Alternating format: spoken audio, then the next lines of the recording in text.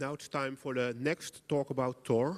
Uh, well, these people are not designing Tor, they are using Tor for their application, which allows you to create a virtual network over a Tor connection. So, well, the advantage, well, just I hand the mic to them and talk.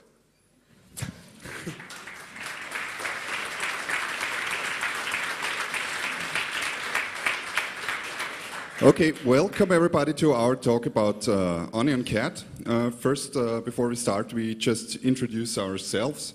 Uh, that's me. My name is Bernhard Fischer. Uh, I'm a lecturer at the University of uh, St. Pölten in Austria. Uh, and my colleague is uh, Daniel Haslinger. He's a student there, and we are both uh, in the um, area of IT security, uh, operating systems, and programming and stuff like that. And we are both uh, have been in the ISP uh, area for several years. So we are now going to talk about Onion Cat. just a few words before. Uh, Onion Cat started at the uh, 23rd, um, 23rd Congress here two years ago. Uh, we both like Tor very much, and we have been interested in this project and watching, watching it uh, for years before. And we had a talk together and in a bar with a beer, and we said it would be really nice if we could contribute to the Tor project. So we're really proud that we can present this today. Okay, first uh, let's uh, have a look at what uh, we are going to talk about. Um, first, uh, we'd like to introduce uh, the hidden services uh, a little bit in detail for you. I don't know if anybody is familiar with this. we won't talk about Tor itself because I assume everybody in here knows what Tor is, and especially the speaker before Roger gave you an overview about Tor, and I think there is no no man in the world who could explain more about Tor than Roger. Okay, next uh, we dig into details of Onion Cat.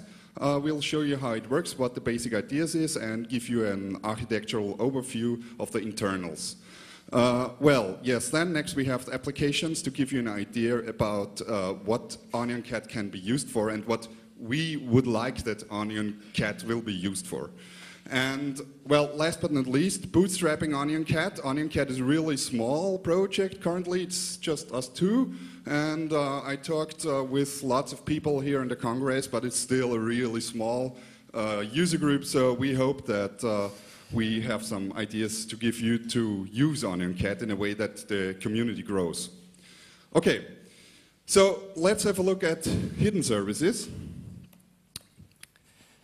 Yeah, uh, a hidden service is a location hidden service inside the Tor network. You can only access it through the Tor network. Uh, a few months ago, uh, we installed such a service in a garage somewhere. Uh, it is also physically hidden. And uh, the hidden services within the Tor network can be accessed without knowing uh, where they are. So uh, when client and server want to communicate, they, must, uh, they don't have to know either the location of the server or of the client. Uh, the connections typically stay within Tor and they do not need the Tor typical exit nodes, which is a very vital thing for the hidden services and the security within. So how do the client and the server find each other? Uh, to stay simple, the server and the client connect through uh, their very own Tor circuit uh, to a rendezvous node which exchange the data between it. Uh, in fact, this is a little bit more complicated, but this, this, uh, this describes the technology quite well. So the server first raises a connection to a so-called rendezvous node. The client does this also. You see the typical uh, circuit that uh, every Tor client or every Tor application uses. And then uh, the rendezvous node just sticks the two together and exchange the data between them. Twice quite slow, so takes a while. The, the, the presentation is given cross Tor. no, not really. So, how are hidden services used? If you need to access a hidden service, you need a running Tor installation and a software that uses the Tor SOCKS interface, uh, either through libraries that are aware, from SOCKS or maybe a software that uses the Tor SOCKS Ethernet uh, interface directly. Um, if an onion address has been detected, Tor will simply intercept the request and will route the connection into the Tor network to the hidden service as shown before. Oh, just a moment. It was too quick.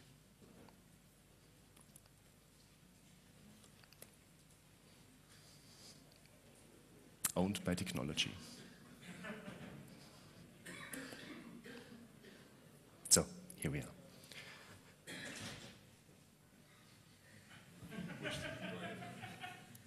Damn it. Okay. Uh, look at me. uh, as soon as you enter the onion key or the onion address uh, inside an application that uses Tor or the SOCKS interface uh, within Tor, you just enter the onion key uh, to a web browser, for example, into Iceweasel or so on, and uh, the interception will be done by Tor, and you will be routed to the service. So I hope it works now. Yeah. So the benefits of hidden locations uh, or location hidden services is that you do not need exit nodes anymore. This is good because uh, exit nodes are a very problematic thing. Uh, in fact, very, a very small amount of uh, people want to be an exit node. Uh, that's depending on the country they may live in. And uh, these connections the exit nodes make into the real internet are unencrypted. So hidden services provide some kind of end-to-end -end encryption, which would be not true if you use exit nodes for your connections. So what's wrong with those hidden services? They also have a catch. The onion URLs are hard to remember. This is a fact which we try to resolve. Uh, we talk about it later. The SOCKS interface is not always easy to use. You have to for example, you have to configure your applications to use SOCKS. This might require some knowledge on this topic. Uh, also, the SOCKS does only transport TCP IP. And last but not least, an issue we couldn't resolve in our project is that hidden services are damn slow. So what's our goal on these hidden services? Uh, we provide an easy and transparent way uh, to use hidden services. Hidden services improve an individual's privacy enormous. So our intention is to make it usable for a broad amount of users out there. And so maybe uh, get Tor and the hidden services a little boost. Our first solution to this problem, uh, I mentioned it on the onion keys, which are hard to remember, was implement, to implement a TCP-based name service. As soon as a hidden service rule is used, the Tor, as a Tor, uses public and private key authentication to route it to the hidden services and to authenticate it. So um, due to this behavior, uh, phishing is not possible anymore. Yeah, let's take a look. Uh, sorry. Uh, the next thing is uh, we do not violates hidden services uh, with our solution, which could be a problem if you use some kind of DNS in there without any interception before. Um, there is also a really well-known uh, service out there for name resolution. It's the DNS system. And so reinventing the wheel wasn't an option for us. Okay. Um, now let's uh, dig into details what OnionCat really does. So first, some basics. Uh, we, uh, we'd like to provide an uh, IP transparent interface, what SOCKS definitely not is. It's a TCP interface, so uh, we'd like to have an IP transparent interface. And uh, obviously there is the TUN/TAP driver available on more or less all operating systems, also on Windows, of course the OpenVPN guys did a good job there. Um, yes, okay, TUN/TAP devices are virtual interfaces, virtual network interfaces. They are just, they stay on your host. So it's, it's like an Ethernet, but it's just virtual. You can put there an IP address, you can ping the IP address, you can, well, do everything what you can do with a normal uh, uh, Ethernet inter interface also.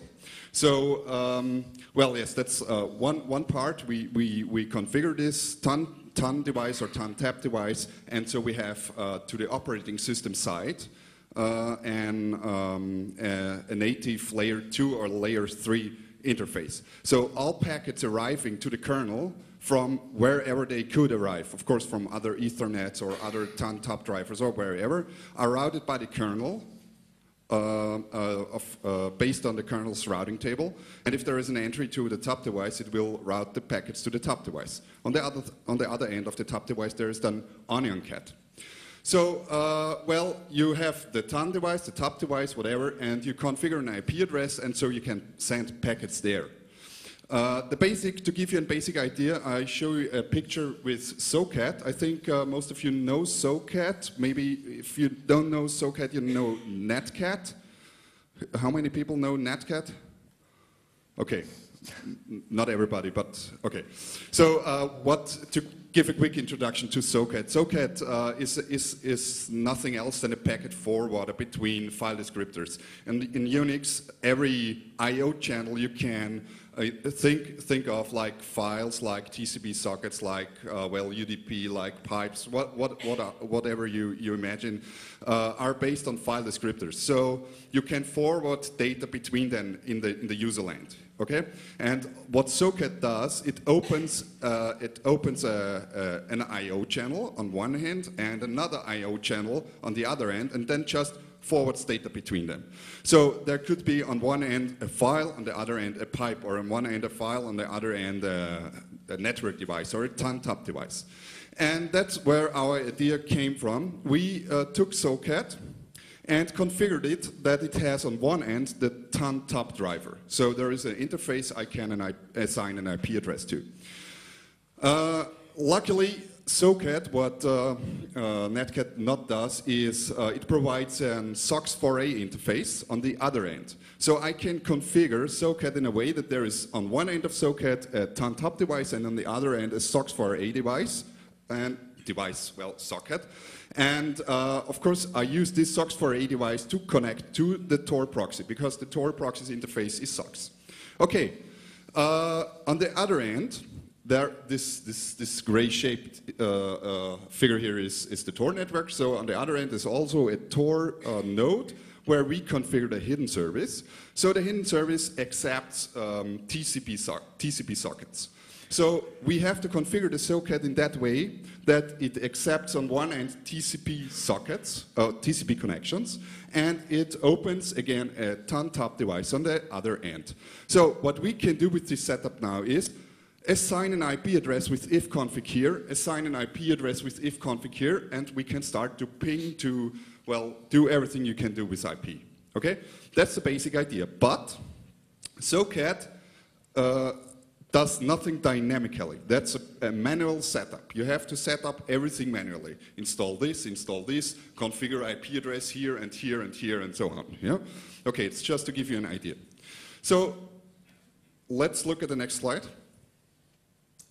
Uh, what I, uh, our idea was uh, we uh, want to provide a piece of software that does everything automatically in a way that if you plug it in, you automatically get part of the community.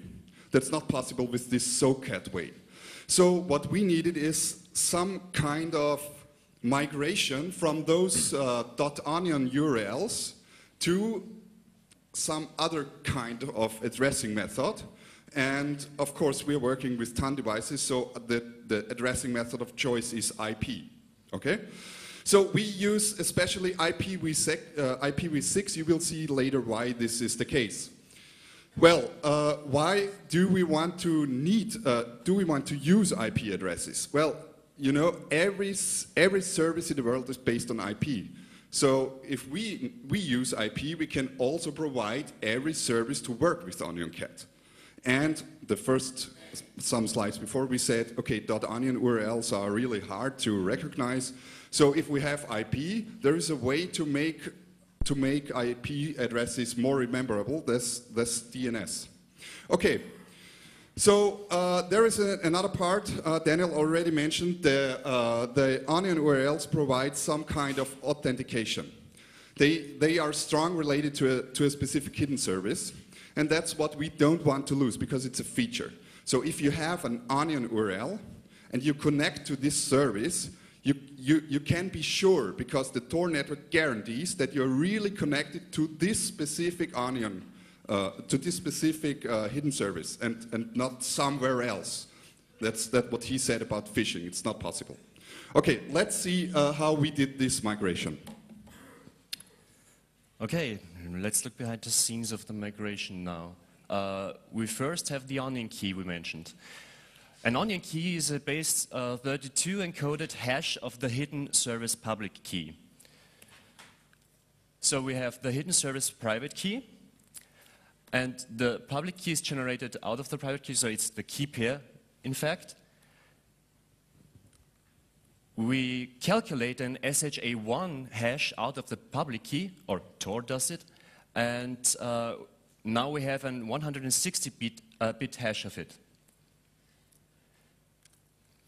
80 bits of this 160-bit we convert through base 32, and we get an onion address.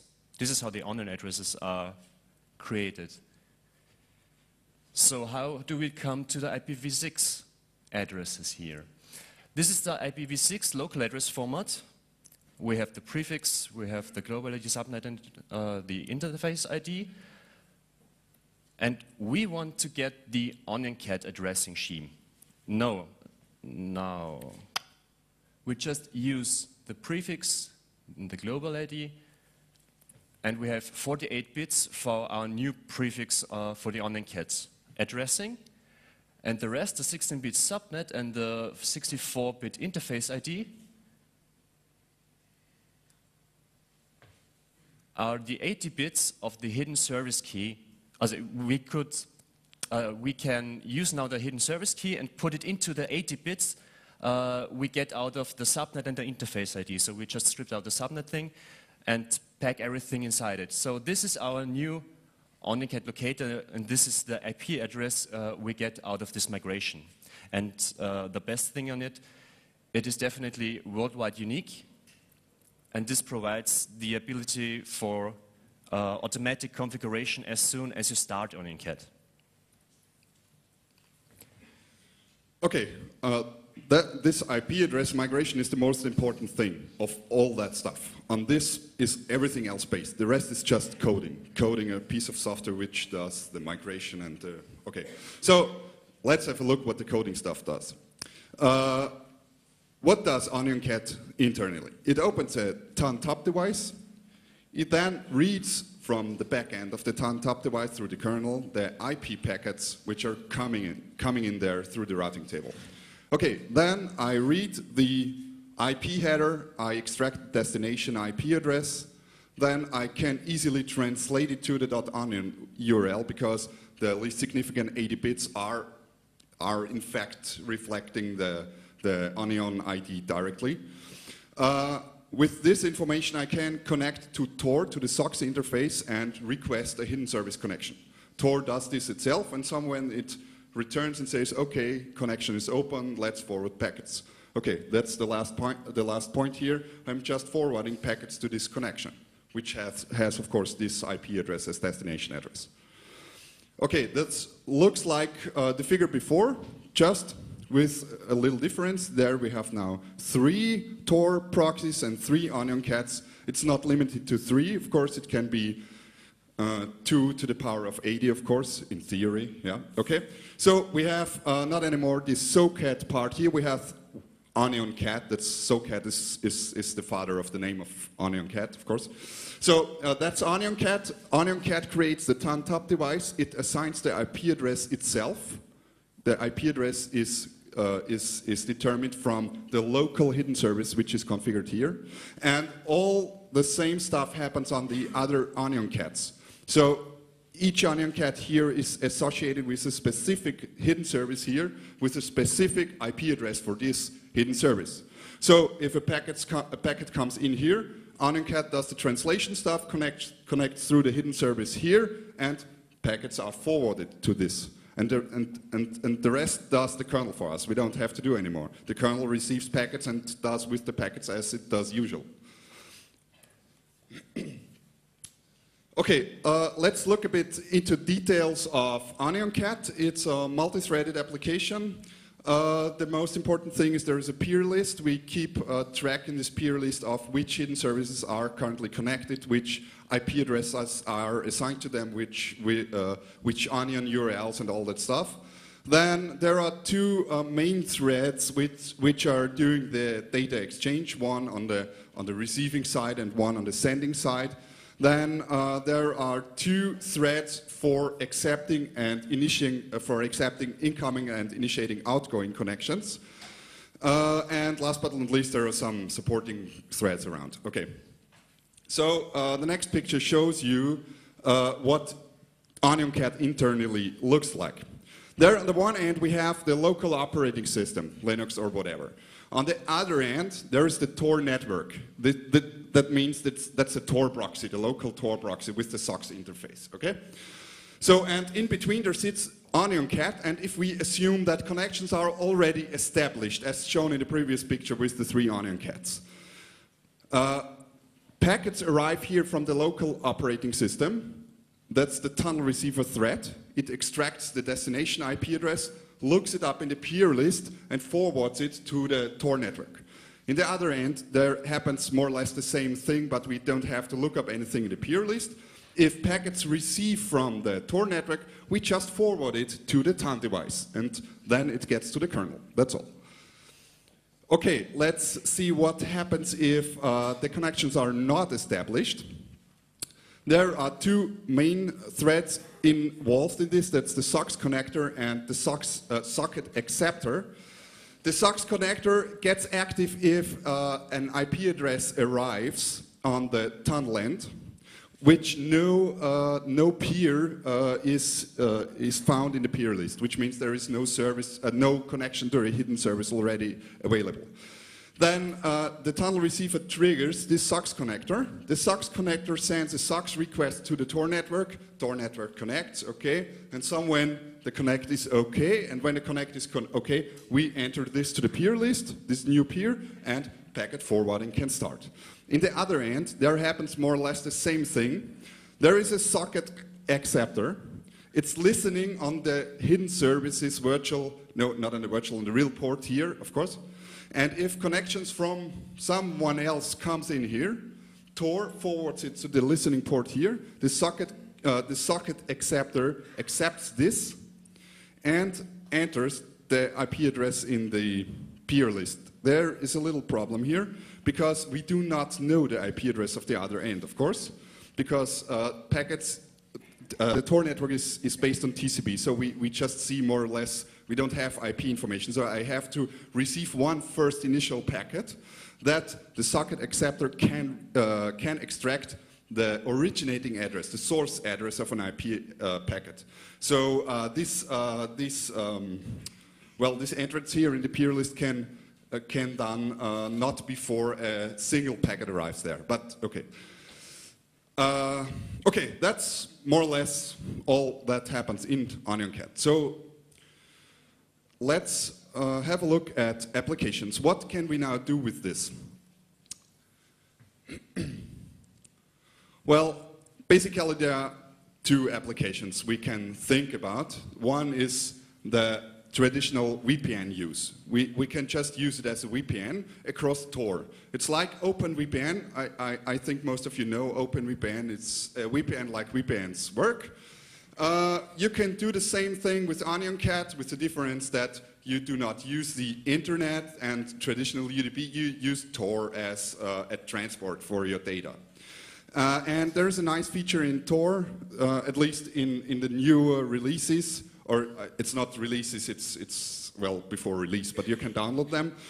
There is some kind of authorization built in in hidden services, so you can supply your VPN users with a username and a password, more or less, that only connections happen to people knowing this password, okay?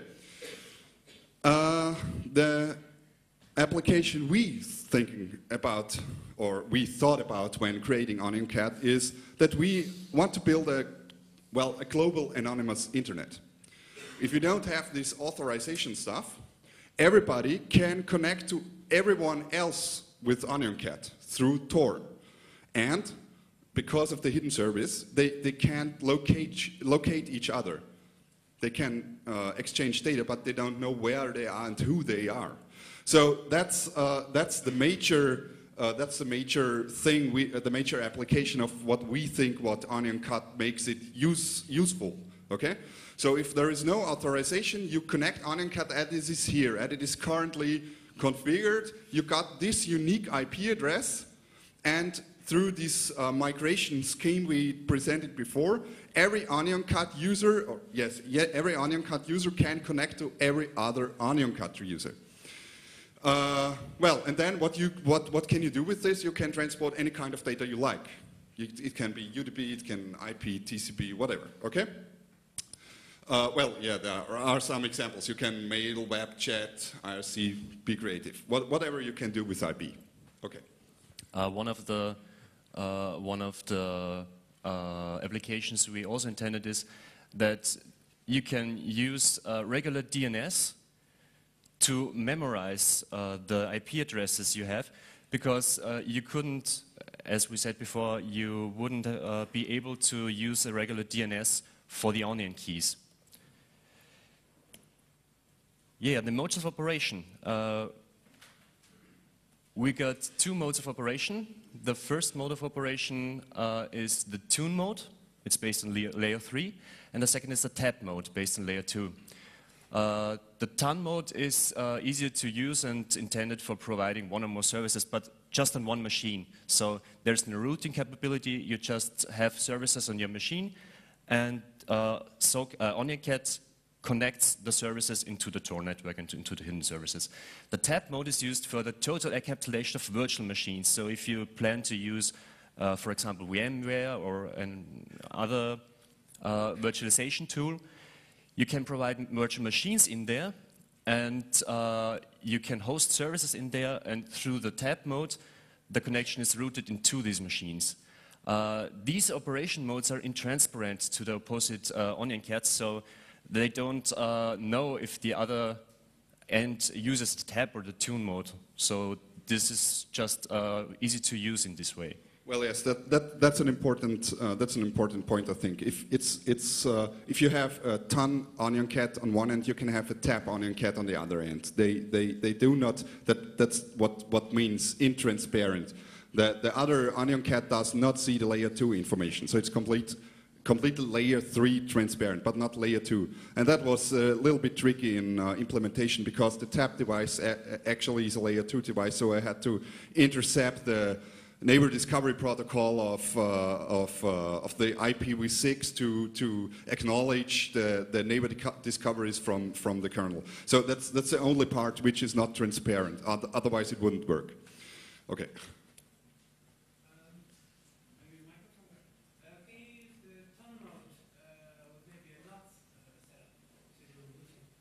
Uh, the, question uh, the question was if you can uh, set up the TUN mode with NAT on it.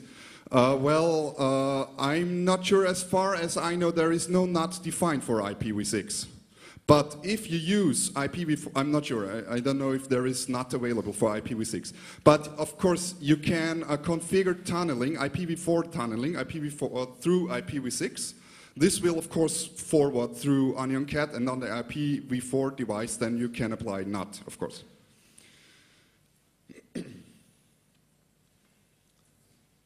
Okay, uh, that's a, a, simple application example uh, about the, the tap device configuration.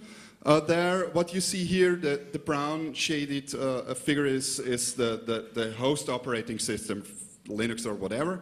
Uh, and uh, on this host operating system, you, you, you run the Tor and the OnionCat in tap mode, which means it provides a virtual tap device with all routing features tap devices have. And then what you uh, next have here is, it's just an example, you run two virtual machines with VMware, VirtualBox, whatever. Uh, and all these uh, virtual uh, virtualization techniques also provide usually some kind of network interface. And what you next do is you configure a virtual bridge here with, for example, the bridge tools. I tested it with Linux, it works perfect. Uh, and you connect these, uh, these devices together. So what you do then is connect, connect these devices together so each of them will see each other on layer two. And then you configure your IPv6 Onion IP address within the vir virtual machine. Of course, not on the TAP device, but within the virtual machine. So, and uh, the nice uh, behavior of this is that these machines are really completely encapsulated into the Tor or into the, the OnionCat network because that's, that's a little bit a problem which could occur that uh, you leak some information. That's, that's, that's, that's, not, uh, that's not because of OnionCat, that's always if you provide hidden services. If you not configure that uh, these uh, services you provide in the right way, there may be information leaks. Okay? But if you have a completely encapsulated machine, there is no way to leak information. Of course, if you do not enter your username and who you are here, yeah? but not from outside from the kernel IP, whatever tables, okay? So, well, yes, this works really good. Uh, let's uh, talk about bootstrapping OnionCat. How do we put some life into the OnionCat scene? Which is the reason why we are here now. What is available now. Uh, we got the fully functional OnionCat client to download. Uh, it runs on Linux, on OpenBSD, FreeBSD, and on Mac OS X. Uh, we couldn't manage to port it to Windows right now because it's a, bit, a little tricky thing uh, to use the OpenVPN implementation. The OpenVPN guys did a very good job there. Uh, and you can get it on the URL we posted here you don't have to remember it. You just uh, go onto the slides uh, we provide for downloading, or you no, maybe you got the uh, proceedings. Yes, on the, if, if you go to the to the on, on the on the homepage from the from the conference, there is for each talk is a website. So if you go to our talks website, this uh, URL uh, you find there, so you don't have to write it down. Okay. And we implemented uh, the very first service uh, for public use. It's the OnionCat service registration website. You even don't have to remember the IPv6 address.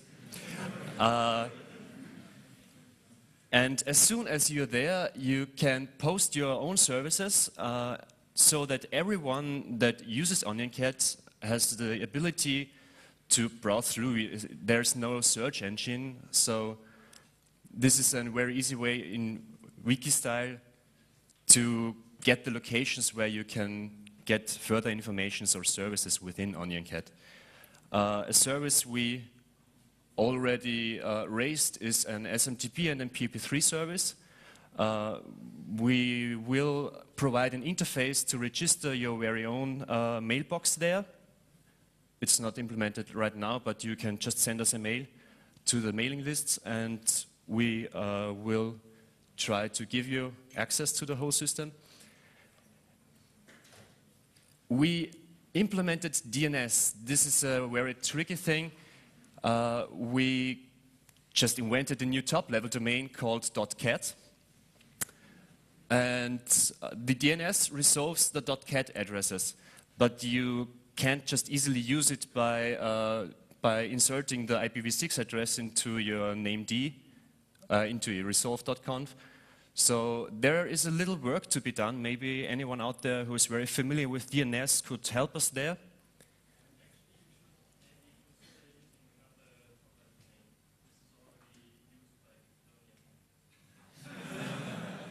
That's bad.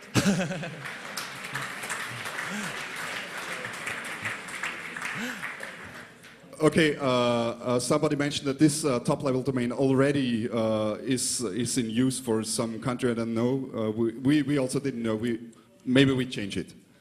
Is it is it a country or is it a free registration? Okay. Well, Catalonian. So much for gear graphics. Okay. We are sorry for that. but it would be a nice name, yeah? Okay. Uh, and we already have an IRC service. Some guy in the USA implemented an IRC server for us.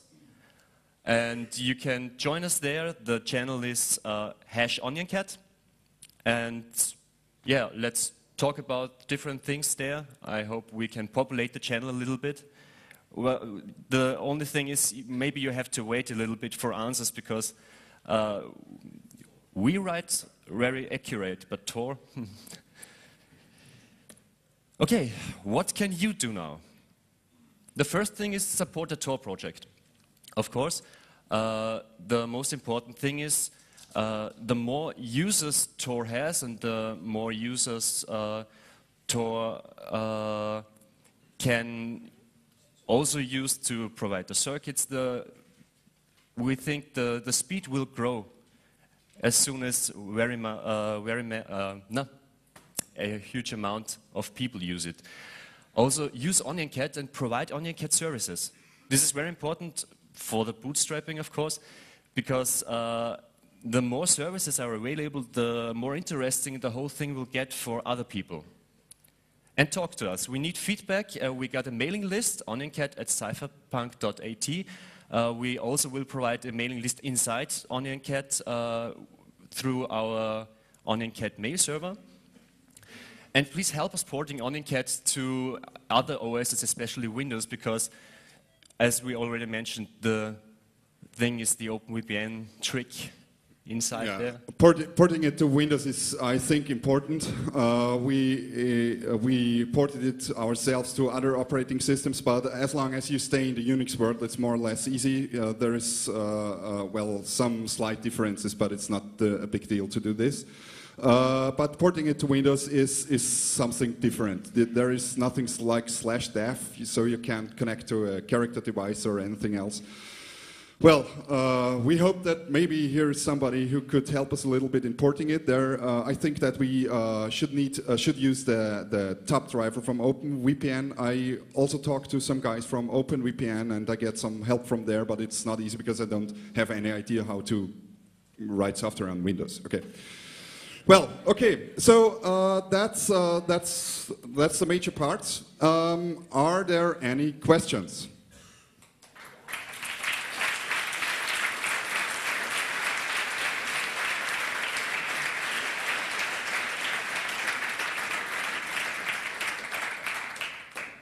Could you maybe um, bridge that tap device you talked about? Could you maybe also bridge that with, uh, with a physical uh, Ethernet device? Yes, of course, of course. And then maybe provide an entire uh, LAN with Onion? Yes, yes, that also would work. But uh, if you uh, bridge it to uh, a, a, complete network with physical machines, you have to set, you maybe have to set up routing. It, it depends on how, how you configure your network. But basically it works, yes. Don't be shy. We speak German, so you can also ask in German.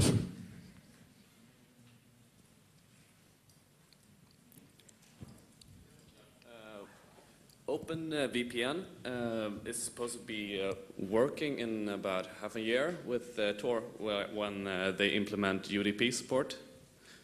I think it's in their three-year roadmap, and it's supposed to be half a year away. Do, do you mean that OpenVPN, uh, OpenVPN supports some kind of Tor transport? Is it? Uh, no, uh, it's supposed to work uh, well, kind of right out of the box. While when uh, Tor has the UDP and TCP support, currently it only has TCP support. Okay, you mean if Tor supports UDP, then it would be possible to transport uh, OpenVPN through Tor? Exactly, exactly. Yes, of course, that's, that, that's possible to do this. But uh, uh, OpenVPN is, is really a VPN. And if you transport uh, the, the OpenVPN uh, packets through Tor, they exit somewhere. The, the big benefit of OnionCat is that we use hidden services, so the traffic never exits. And the second thing is that we have this kind of dynamic setup. We translate the hidden service URL to, uh, to an IPv, IPv6 address, so you, do, you Nobody has to do some setup. They are automatically connected together in a closed user group.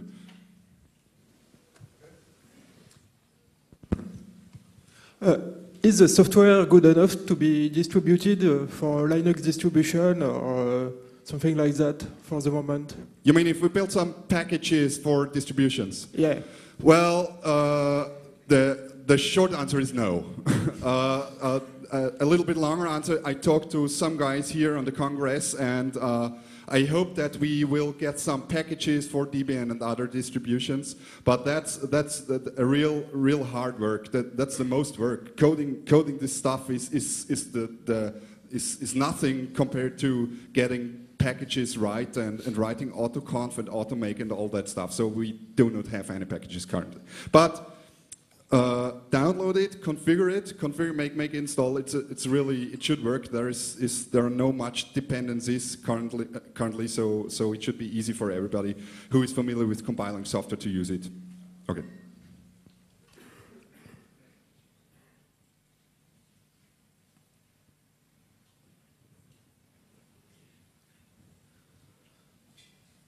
Does a hidden service have to run on a Tor node actually, or is a Tor connection from my hidden service server sufficient? And the other question is, when can I reach uh, Pirate Bay via this service?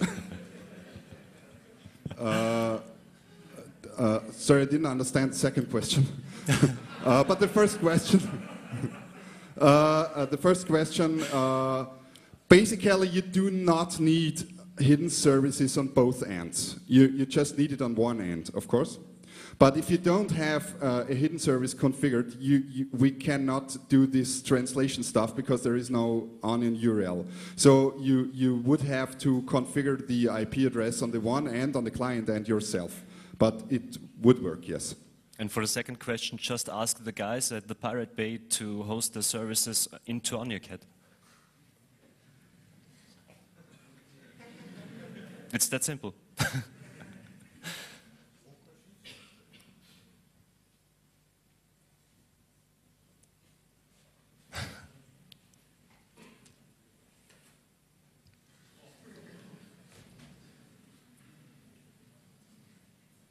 Well, I just have a proposal for the top level domain. Just call it dog. Uh, we, we, alre- uh, we also uh, thought about calling it snail because it's slow. Onion snail.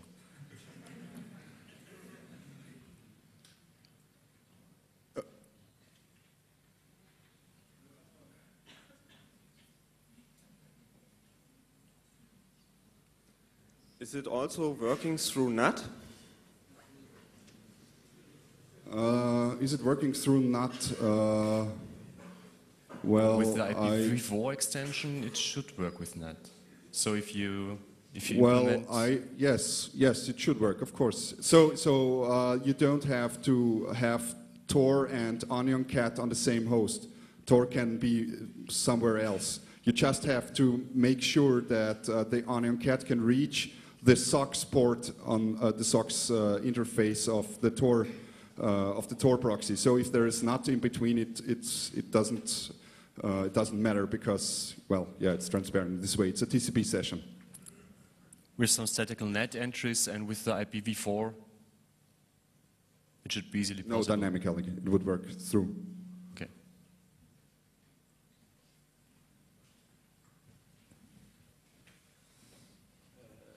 No more questions, then I'd like to thank both of the speakers for their informative talk and a small applause.